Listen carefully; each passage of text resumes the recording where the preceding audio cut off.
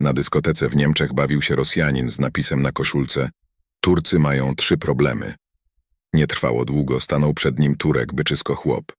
Ty, a w dziób chcesz? To jest pierwszy z waszych problemów. Ciągle szukacie zwady, nawet wtedy, kiedy nie ma żadnego powodu.